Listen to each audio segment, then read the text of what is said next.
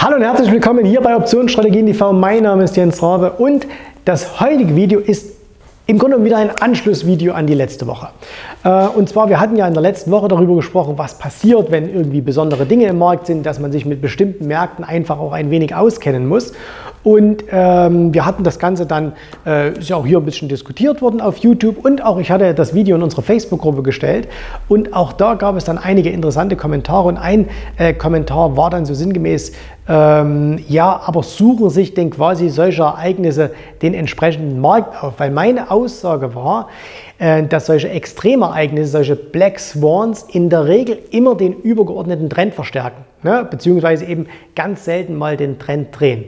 Und ähm, wie gesagt, die Frage war dann, hey, aber sucht sich denn so ein Ereignis denn die entsprechende Marktlage aus?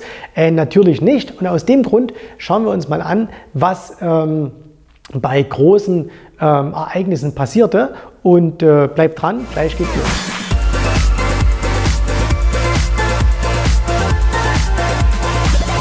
Ich habe jetzt einfach mal Folgendes gemacht. Die These ist ja also, dass solche Ereignisse, solche Black Swans, die man nicht im Voraus berechnen kann, die man nicht erahnen kann, dass die in der Regel äh, den bestehenden Trend in der Regel nicht umkehren, sondern einfach nur verstärken.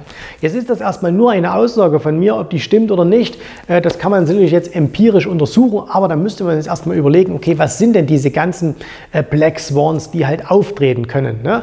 Und deswegen habe ich einfach mal ein paar herausgesucht, ähm, die aus meiner Sicht meine These schon ein bisschen unterstützen. Wahrscheinlich, wenn jemand jetzt ganz genau sucht, würde er auch welche finden, die dem Ganzen entgegensprechen. Aber ähm, ich glaube, die Grundidee kann ich mit dem, was ich euch jetzt zeige, schon ganz gut darstellen. Wir gehen mal als allererstes ganz, ganz weit in die Geschichte zurück. Ähm, und ich wollte das immer schon mal sagen, wir gehen mal zurück ins letzte Jahrtausend. Ja, wir gehen ins letzte Jahrhundert, wir gehen ins letzte Jahrtausend. Wir fahren mal zurück ins Jahr 1941 in den Dezember. Und zwar, ähm, ich habe das extra hier aufgeschrieben, am 7. Dezember 1941. Was war da? Wer hat aufgepasst im Geschichtsunterricht? Richtig, genau der Angriff der japanischen Flotte auf Pearl Harbor. Und ähm, das war definitiv, äh, wir lassen jetzt mal wieder alle Verschwörungstheorien beiseite, das war definitiv etwas, mit dem man nicht gerechnet hat. Und jetzt kann man sich vorstellen, ähm, was ist damals passiert. Na klar, die Märkte werden eingebrochen sein. Schauen wir uns mal an, ob das stimmt. Also, wir sehen hier das war der Tag, 7. Dezember, das sind hier Wochencharts, das ist der S&P 500 und wir sehen hier, jawohl, das ist also der Punkt, an dem äh, die Japaner äh, Pearl Harbor angegriffen waren und ihr seht, wenn ihr euch mal den Chart so ein bisschen anschaut, der Markt war insgesamt schon in einem Abwärtstrend. Also an der Stelle hier zu sagen, dass wir einen Aufwärtstrend haben, definitiv nicht. Und ihr seht auch, dass dieser Ausschlag hier gar nicht so extrem war. Ne? Also das hier war viel größer, 1940. Das könnte gewesen sein, vielleicht der Überfall ähm, auf Russland, da bin ich mir jetzt nicht sicher, aber ich glaube 1940, ja, das könnte hinkommen. Ähm, Ihr schreibt mir es garantiert in die Kommentare, was da war. Also was war hier irgendwie Anfang 1940? Und hier seht ihr also, okay, das war jetzt gar nicht so dramatisch, aber es hat den bestehenden Trend definitiv erst einmal verstärkt. Okay? Wir bleiben einfach mal, äh, wir bleiben einfach mal in Amerika. Johnny schaut gerade nach. Was war 1940? Angriff auf Russland? Bestimmt, oder? Wir melden ich, ich, ich erwähne es ja im Laufe des, des Videos noch. Wir bleiben mal äh, in den USA und da war natürlich der, der größte Black Swan, das ist ganz klar, äh, den wir auch persönlich erlebt haben. Wir könnten jetzt noch Kennedy-Mord nehmen und viele, viele andere Dinge. Ähm, aber wir bleiben mal äh, bei dem, was wir auch alle kennen. Wir gehen mal hier äh, jetzt ein bisschen schon in die etwas neuere Geschichte. Und zwar, wir gehen mal ins Jahr 2001. Und im Jahr 2001 ganz klar ist natürlich hier 9-11. Ähm, ne? Also ähm, der 11. September, wir hatten hier die Woche, äh, die am 7.9. endete. Dann hat in der nächsten Woche der Markt ähm, am Montag eröffnet und an dem Dienstag dann am 11. September war dann der Angriff auf das World Trade Center in New York. Auch bitte hier sämtliche Verschwörungstheorien jetzt mal weglassen. Äh, und was ist passiert? Die Börse hat sogar zugemacht, also die ist gar nicht erst eröffnet worden, blieb dann das erste Mal in ihrer Geschichte vier Tage geschlossen und eröffnete dann erst am Montag wieder. Und der Markt ging natürlich noch eine Woche nach unten, dann war erstmal ein Tief drin. Aber auch hier seht ihr ganz klar, wir hatten einen Abwärtstrend. Also das war nichts irgendwie mit, ähm, das war nichts irgendwie äh, mit Aufwärtstrend, der hat es gedreht, sondern in den bestehenden Trend hinein ähm, ist das Ganze dann nach unten gefallen. So, und jetzt habe ich mir mal angeschaut, okay, äh, jetzt gab es doch aber danach noch mehrere Anschläge. Ne? Also wenn du mal so eine Liste googelst, ähm, wo du sagst, äh, okay, ähm, was gab es für terroristische Anschläge, da findest du ja hunderte, also ne, auch danach, davor. Und äh, ich habe mir jetzt mal äh, einfach die danach angeschaut, die ich auch als persönlichen ähm, Wissen, also wo ich noch aktiv äh, vor dem Rechner saß und weiß, okay, da ist was passiert. Und das war, äh, ich habe es herausgeschrieben, am 7. Juli 2005. Und zwar am 7. Juli 2005 gab es dann den ersten Anschlag in London in der U-Bahn. Äh, ich kann mich noch wie heute an diese Bilder erinnern. Äh, und ich habe damals den Eurostox Future getradet, saß vor meinem Rechner, rechts oben ein Fernseher und da lief damals liefen diese Live-Bilder äh, im Börsenfernsehen von diesen Anschlägen in äh, London. So, jetzt gucken wir uns das mal an. 7. Juli 2005. Das heißt, wir gehen mal ins Jahr 2005. So, und was sehen wir hier? 2004. Wir sehen also erstmal, der Markt war zu dem Zeitpunkt nach oben gerichtet. So, und wo war jetzt der 7. Juli? Der war 7. Juli, der war hier. Ne? Also in der Woche war das hier. So. Und da seht ihr, was ist denn da passiert? Da ist überhaupt nichts passiert. Ne? Und jetzt kann man sagen, ja, das war ja auch nicht so ein großer Anschlag wie in London und da gab es ja davor auch noch Madrid und so weiter. Ihr habt vollkommen recht.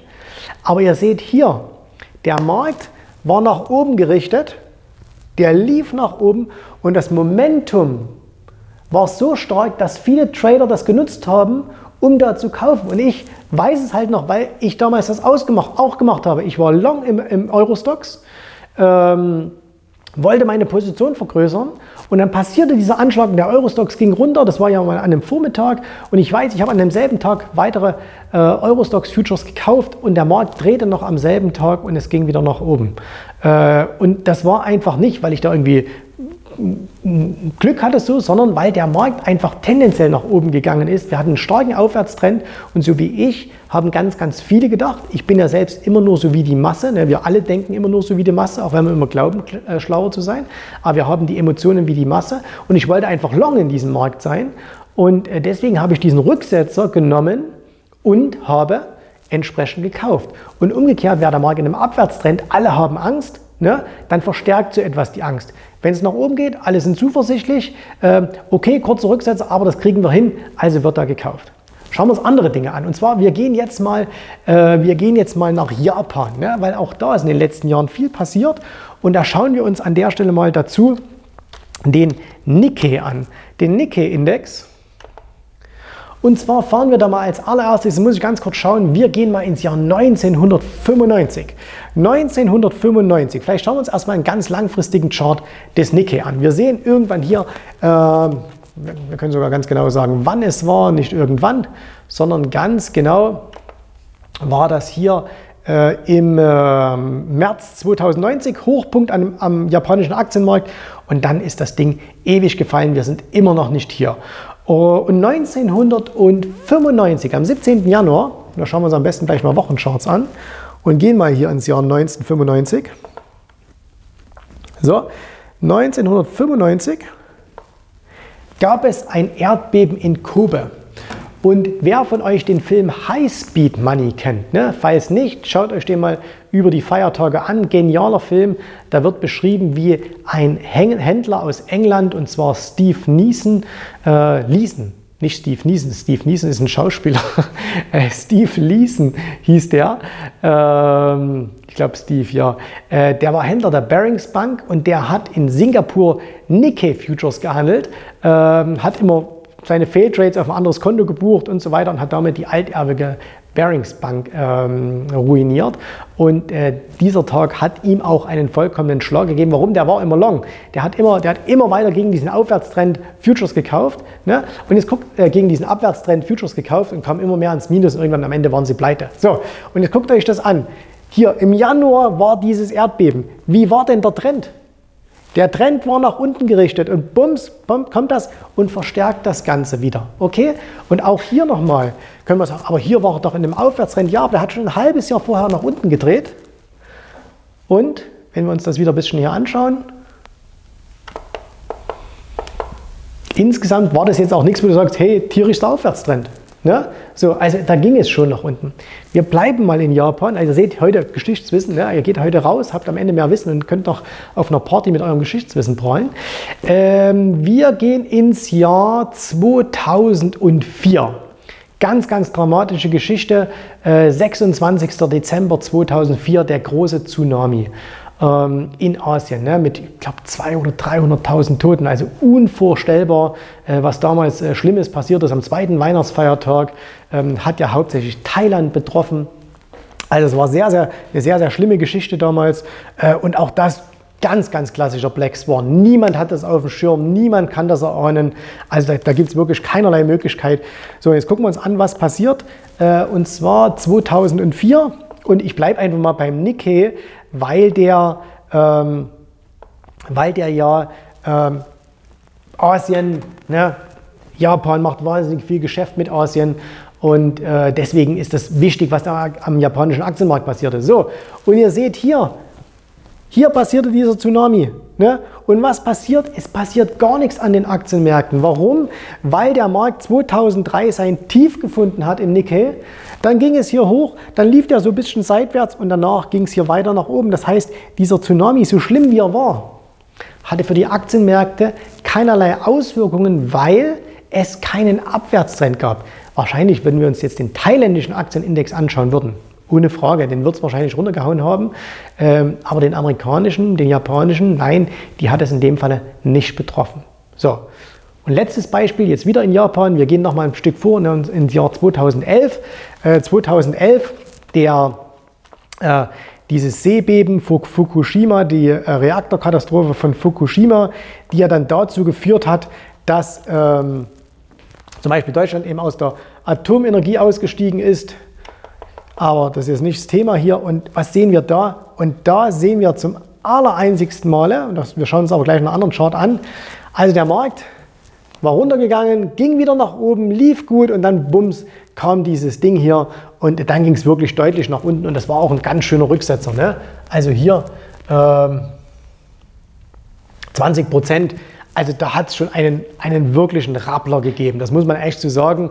Äh, das war halt wieder so, schauen wir uns das Ganze wieder an. Ähm, wir gehen mal nach Amerika. Was ist in dieser Zeit in Amerika passiert? Wenn wir uns das also im S&P anschauen, so, und da sehen wir, äh, da gab es einen kleinen Rücksetzer und der Markt lief weiter nach oben. Warum? Weil wir in einem übergeordneten Aufwärtstrend waren. Und das ist natürlich, gerade glaube ich, das letzte Beispiel zeigt, dass meine Aussage, ähm, dass solche Ereignisse äh, einen Trend nicht umkehren, ähm, wahrscheinlich nicht 100% korrekt ist. Ne? Also es wird schon natürlich Dinge geben, die auch einen Aufwärtstrend äh, aus dem Nichts heraus drehen könnten.